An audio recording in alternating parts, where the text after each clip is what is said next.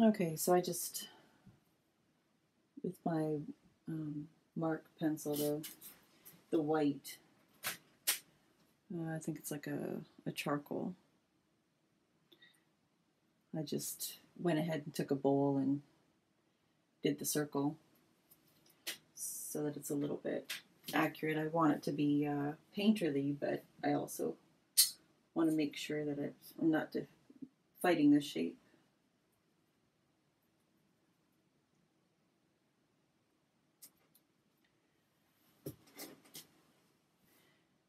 I use my angled brush. And I put the whitest white at the tip and then have a little fade so that I'm not getting a really thick line and I'm going to use it so that I'm going to go around and it'll fade to another tone. Just like a shaded, maybe like a, I'll mix the color first of using reds and blues and greens and yellows, just uh, a mix of what's on my palette.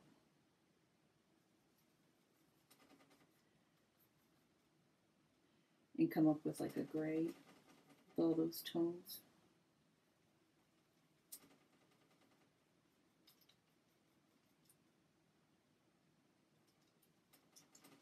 A little bit of a warm gray.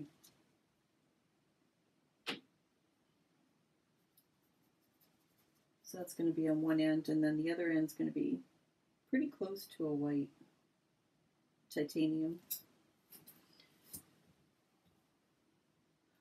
And just for this layer, I'm just going to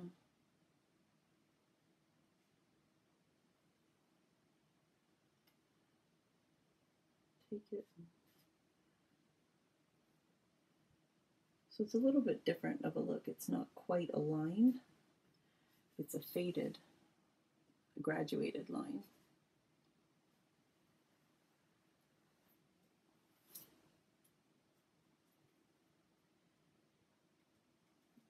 we'll want some variations within that too, but for now.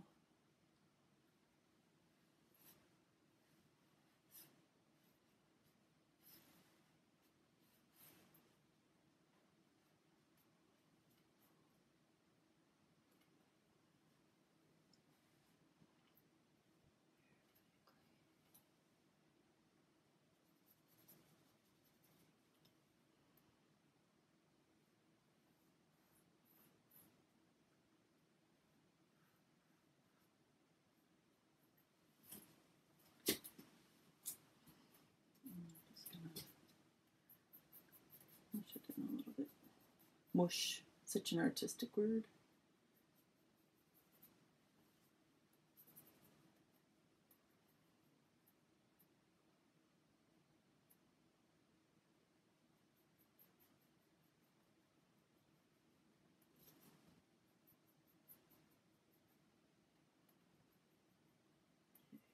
so that's the bowl under there. Just gonna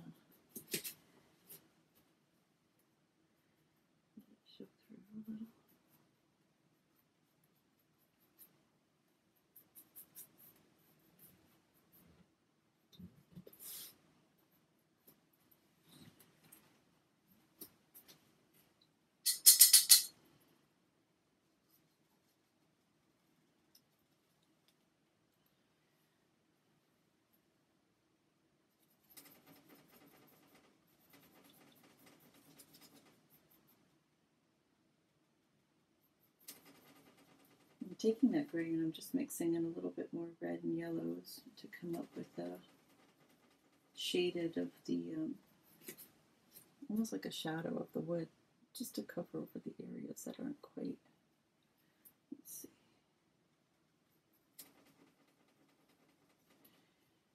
I want to fade into the shadows of the wood.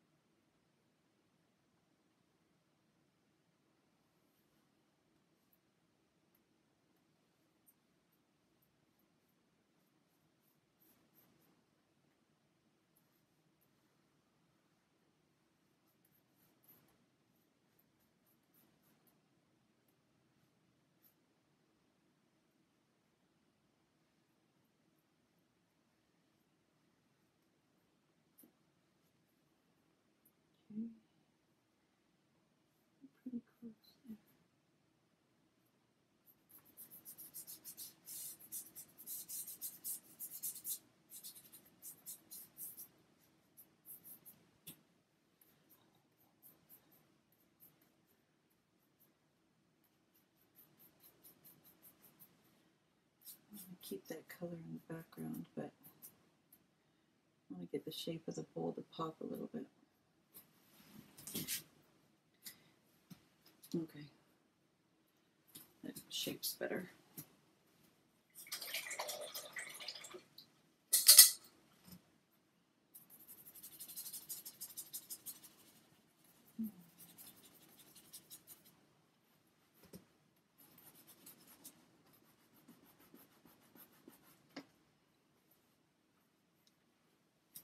try. Maybe that works easier. Yeah, I'm just going to remove those lines rather than having to paint them again. Okay.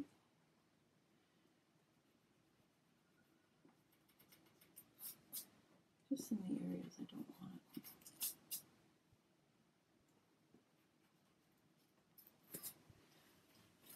So to get a little bit of an edge on some of this, I'm just going to scratch it in.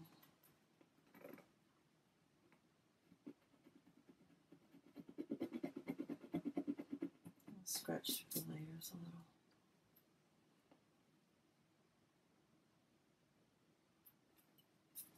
Let's see. There's a different- There's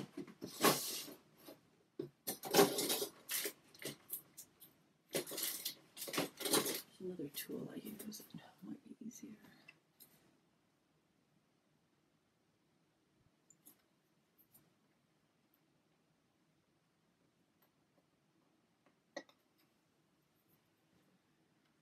So I love this tool because it's very different from the brush marks and it's very faint lines.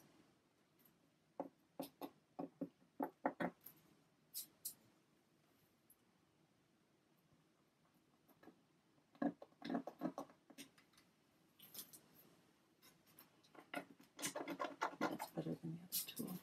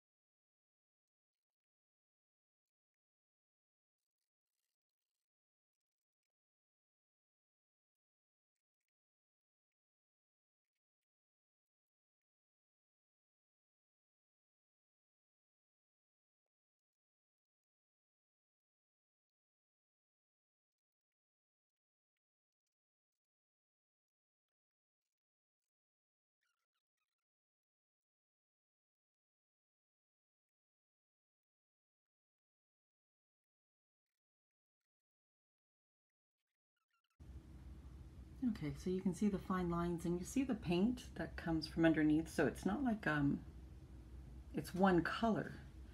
It looks very different on a painting. It brings back some of the color from underneath and I love the differences. And it actually will cast a little bit of a shadow because it's deep. Well, depending on how deep you do it, but that's all I'm doing. It's a very thin line compared to um, the paintbrush strokes that are very large. So that's where the painting is so far.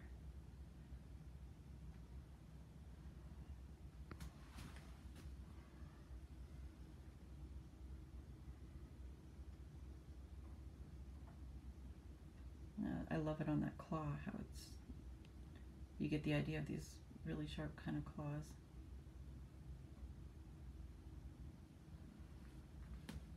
And then I'll go over and paint some more.